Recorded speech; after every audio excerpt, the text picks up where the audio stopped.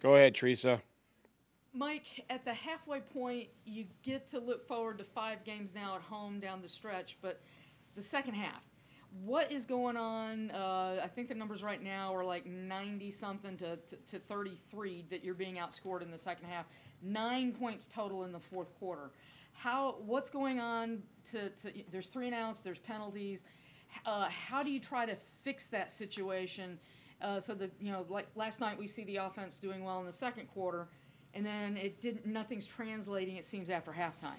Yeah, we didn't take advantage. Um, I think specifically looking at last night, we didn't take advantage of the field uh, position, and then you know the the self-inflicted wounds, the unforced errors um, that we talked about, missed opportunities uh, to to really play complementary football. I'm going to try to you know really just show and, and, and review that second quarter uh, of everything that we would like to do and who we would like to be.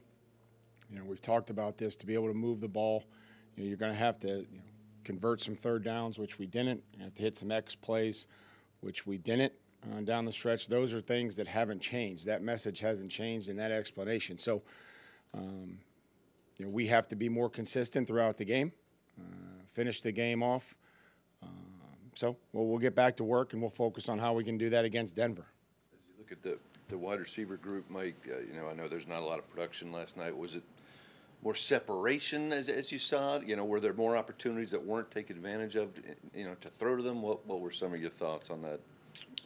Well, I think each game is, is you know, kind of its own own deal. We had some opportunities last night. I thought that we did. Um, would like to have come down with with some of those. Um, and then just really with how we are trying to manage the game and the game that we were in, um, you know, running the football and, and, and, using some of those play passes. And, you know, Malik threw it down, you know, made some opportunities, took some chances down the field. Um, and we didn't come down with it, you know what I mean? So it's like we have to, uh, you know, continue to work to, to create some separation when we're getting matched, which, you know, we have been. And then, you know, being in good in zones or we're snapping down and – you know the timing with the quarterback is there. But you know we'll we'll keep you know keep searching and keep trying to find ways to to help us score points most most importantly and and help us win. With the rushing attack in, in, the second half, was it just a matter of down and distance that made you guys kind of get away from it, or what was it? Well, I mean, we, we tried to run the ball. I mean, there were times where we did. It's just when you get behind the sticks, um, you know, second and 15, you know, long yardage situations, um, weren't you know weren't as efficient as we needed to be when we did run it. Um, and, and, again, just some of those those penalties and that that cost us. You know, where we would hit a first down, we hit you know two X play uh, runs that were called back um, by the penalties that you know the flags that they threw. I think uh, you know counting penalties. I think the defense is on the field for hundred plays. I mean, is that as high in numbers as you ever seen? Since since college, yeah. yeah. Defense play with great effort? Yeah, they. Do. I think we all do. You know, and and and we we can't just use effort as a, you know, it's a place to start, but there's so many more details in all three phases that have to improve. You know, we're we're going to go out there and we're going to fight and we're going to swing, and we're going to we're going to try to compete uh, every opportunity that you know, we get. I know that. I'm positive that I've seen that but you have to to beat good teams. You have to have more than that. You know, you you have to have the details. You have to have the execution. Uh, you have to work together with somebody that's next to you. Um, so that's that's the focus moving forward. Is you know I think to to go and and you know obviously get a win this week or you know compete against Denver. It starts with the effort. It starts with the finish, and that's who we are. But it also has to be about the details and the technique and the, and the understanding of, of the play and making it work. Mike Patrick's done it before, but those scrambles in a late game situation, how much is that a great player making a great play versus things you guys did? I think it's probably a little bit of both. I think you know there were some times where we were um, not not as good as I would have liked or you know anybody would have liked in, in the in the rush coordination as we call it and. Um, you know, and then he's making a play. But you know, I think that that's probably some of that is, is got to be on us too. That's that that really at the end of the day not being able to to tackle him was was the deal. Injuries are a big part of it, but, but Bud was a big part of, of bracketing him in, and losing him in the fourth quarter seemed to really be kind of a difference maker there for you. Um, yeah, I mean, we you know we need everybody. You know, we we redo. You know, we we guys are all prepared. You know, we you know Mario gave us some some really good snaps. Demarcus gave us some really good snaps. So there's a lot of encouraging things there. You know, both of those guys kind of been looking for opportunities, and you know, I feel like they they did that. You know, Tier gave us you know some push. Um, so it just everybody has to be on the same page. Every you know, Denico continues to do that, and then we know about Jeff. But you know, we just all have to be on the same page. You know, whether it's Bud out there working with somebody or whoever it may be, uh, just making sure that we're on the same page and that um, you know we don't have one guy coming under, one guy going over the top, and and, and giving those quarterbacks that there's so many of them in this league. We'll play another one this week that can, you know, get into a defense and, and break down a defense and you know, the DBs, you know, it's like plaster all week, plaster all week. The guy can throw it everywhere else, so they're they're turning, and there you go. Their defense, or their offense basically abandoned the run and just, and threw the ball all night long. Once you guys shut down the run, was that kind of what you expected from them, that they would just adjust and go and throw, throw it that much?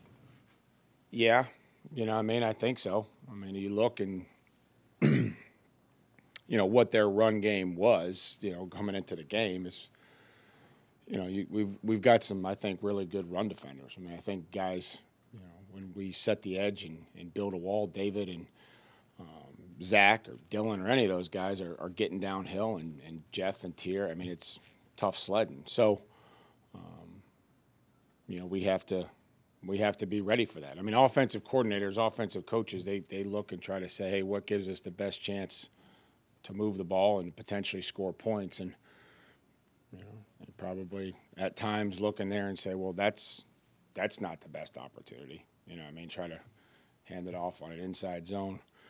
Where where Jeff and Tier are sitting there, and Zach and David are coming in there, and guys are setting the edge. So, you know, we'll we, we figured that we would be in a pass game, and we'd have to make them earn it and tackle and you know, you're just hoping that you could tip some balls or maybe intercept some more, some opportunities to, to get some turnovers, and, and that didn't happen enough. Knock it out of the quarterback's hand. After seeing the film, how do you instruct Josh Kalu to defend Travis Kelce on that two-point conversion? Well, I think it starts by, you know, you have to get your hands inside so that you're not forcing that official to, to make a decision, even though coming into the game, I could tell him, you know, I mean, Travis is going to stalk block and, and throw the guy and, and run a route like he has for however many years Travis has been in the league. So, you know, the defender is entitled to the position. We talk about that, but, you know, other, you know, when, when, when you get your hands outside, um, you, you force them to make a decision, and that's the decision that they went with. So, you know, obviously want to be physical, want to be square, but you know, try try to get your hands inside and hopefully not get hit in the face and get your helmet knocked off and everything else. But you know, what are you gonna do? Malik, I know one of the concerns in week one was kind of the hesitation at times on, on passes.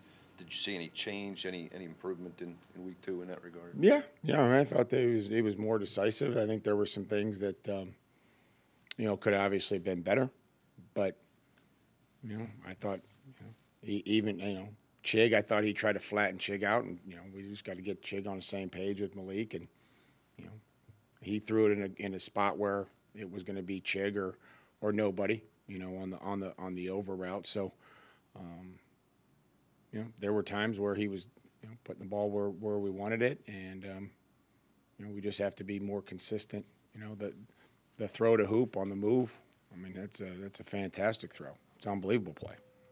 Talking about um, the effort where it starts, the foundation of your team always seems to be toughness, physicality.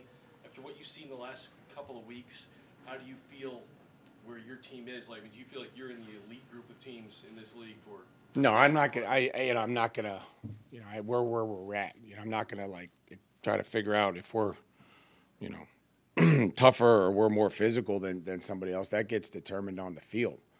but we ran the football against a, you know, highly ranked run defense. Um, you know, we, we, we didn't let them run the football, but but again, that probably that wasn't their plan. So, you know, mentally and physically, um, you, you have to have some some grit to you and some toughness, and and I think we do. But like I said, we just need to be better in the details and the um, the execution. Did you see improvement from Malik from one game to the next, and were there some things he could have done better uh, in the second half when, when things weren't going well around him? Yeah, I mean, there's always yeah pr- improvement, yes, and then you know there's things that, that all of us could have done to, to be better.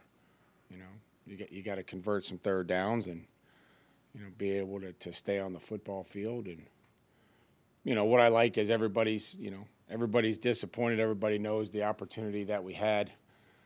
You know, offense is you know wishing that they would have been able to help the defense, but I didn't hear one time and I can promise you I, I won't about the defense having to go out there and man they can't get a first down. I mean that's I, I'm lucky that that that doesn't happen.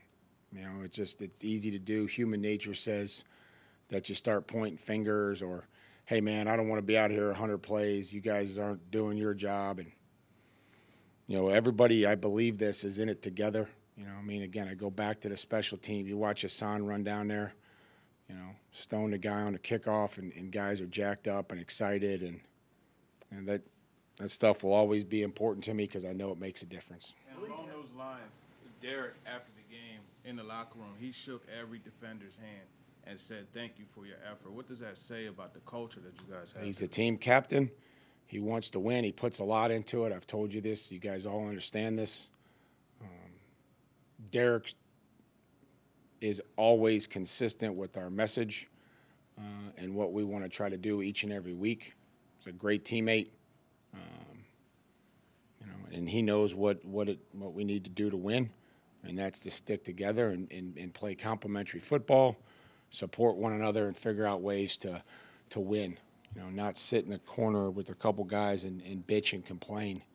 It's about getting together with with a bunch of people and, and figuring out ways to win time or two where Malik was able to use a design run or the RPOs to make some sizable gains. Did you just not get that look often enough to be able to use that set more?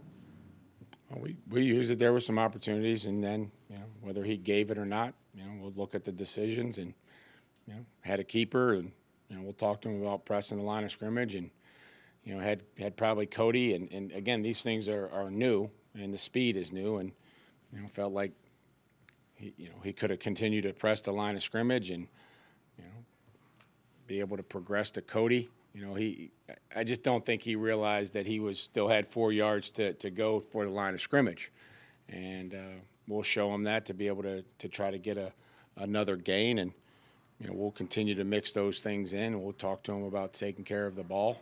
You know, the ball security is something that's that's critical when when, when quarterbacks or anybody runs with the football. So uh, those are things that we'll continue to coach and. Window for uh, Trenton this week, or? Oh, we'll see. You know, we'll see how he's feeling. You know, he has worked extremely hard, um, and and to to stay in shape and condition, take care of his body, lift, um, mentally. You know, I think this is the just the best that he's been from a standpoint of handling a distraction, which is something uh, different and, and sometimes new for for young players. So I will say that that. Uh, you know, whenever he's ready, you know, I, I'm I'm excited for him to get back out there, and we'll see where where that is this week, um, because he's been in here, he's been on time, he's done everything that we've asked him to do, um, worked hard, and um, you know, we'll just have to see where he's at physically. You feel like Ron has made some stri- made some strides last Yeah. week? Yeah, yeah, he has. He worked extremely hard to try to get into a position to play in a football game. Know, go through this with all the injuries. Can they reasonably do their job up to the expectations that we have? Can they protect themselves out there? And can they make it worse? So I wasn't able to answer all of those questions, you know, for, for him to be able to play in the game. Mike, with 13 players on IR at this halfway point, to be atop the division and have a little bit of a cushion, uh, got it has to feel pretty good to at least be in this position rather than trying to have to claw your way back up the top. I don't think there's any real moral victories. You know, we talked about that last night. You know, we are where we are in, in the standings. You know, we have to focus on Denver. We have to focus on trying to get guys healthy. You know, get back late last night. You know, sleep and recovery. Um, you know, guys that were banged up played a lot, and so that'll be the same thing this week. So, you know, we, we aren't looking uh, at it like that. I'm certainly not. Like this is we have a we have a cushion. There, there's no room for cushions uh, in this league. It's doesn't doesn't take a week off. Next, very good opponent, excellent defense. You know, looks like they're starting to get comfortable offensively, and it'll be a huge challenge. Along those lines, when you have a Sunday, Thursday turnaround, do you change the schedule at all this week or modify at all thinking that you got two games in four days, or is it just strictly Broncos Sunday right Well, it's Broncos Sunday, but uh, yeah, I don't know how much we'll be able to do, how much speed stuff we'll be able to do with just now. You know, guys are just now coming in for, for treatment. It's not like they came in, you know, we got off the plane. So see where everybody's at, get it, get a schedule together uh, that tries to help us prepare, and then uh, hopefully by Friday we can. You know, we, we can be going full speed and into the red zone and, and moving the field and all those things, and then we'll have a, another schedule for, for a quick turnaround. It's a tough business. Frank lost his job today in Indianapolis. Any reaction to that? Well, I mean, I think Frank's an uh, unbelievable football coach. I think he's an unbelievable man. I've gotten to know Frank well over the time that we've been in the division, um, some of the committees that we've been on. You know, his wife Linda. Um, you know, we all know what we sign up for, and uh, you know, this is the other side of it. That's probably not so. Um, you know, it's difficult. You know, you never want to see anybody lose their job you know they made a decision. But you know I'll, I'll try to you know reach out. Obviously, reached out to Frank and try to support him however I can.